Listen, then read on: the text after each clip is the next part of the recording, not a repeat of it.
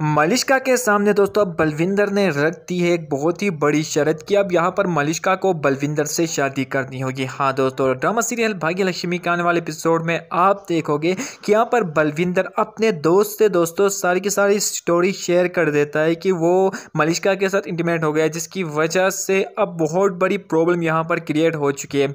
और वही दूसरी ओर दोस्तों, मलिश्का भी ओबरोय हाउस में दोस्तों, यहाँ पर बहुत ज़्यादा परेशान है। नीलम को लगता है कि शायद लक्ष्मी आप इसी घर में रहेगी रहेगी, उसी को लेकर मलिश्का परेशान है। लेकिन वो नहीं जानती कि मलिश्का ने कितना बड़ा कांड कर दिया है और उसी की वजह से अब मलिश्का बहुत ही ज़्यादा परेशान है। यहाँ पर मलिश्का से बार बार पूछने पर भी यहाँ पर मलिश्का कुछ नहीं बताती और मलिश्का बिल्कुल खामोश ही रहती है, जिसको लेकर दोस्तों नीलम काफ़ी ज़्यादा परेशान है। और वहीं दूसरी ओर बलविंदर अपने दोस्त के साथ जैसे ही सारी स्टोरी शेयर करता है कि उससे कौन सी गलती हुई है तो यहाँ पर बलविंदर का दोस्त बलविंदर से कहता है कि अब इस गलती को सुधारने का सिर्फ़ एक ही तरीका है। यहाँ पर बलविंदर अपने दोस्त पूछता पूछता है कि वो क्या तरीका है। मैं किसी भी हाल में इस गलती को सुधारना चाहता हूँ, तब यहाँ पर बलविंदर का दोस्त दोस्त बलविंदर से कहता है कि अब तुम्हें मलिश्का के साथ शादी करनी होगी और फिर तुम अपनी गलती को सुधार सकते हो। वहीं पर दोस्तों बलविंदर कहता है कि मैं तो लक्ष्मी से मोहब्बत करता हूँ, बल, मैं मलिश्का से शादी कैसे कर सकता हूँ? यहाँ पर दोस्तों फिर बलविंदर का दोस्त बलविंदर से कहता है कि अगर तुम्हें अपनी गलती को सुधारना है तो तुम्हें ऐसा ही करना होगा।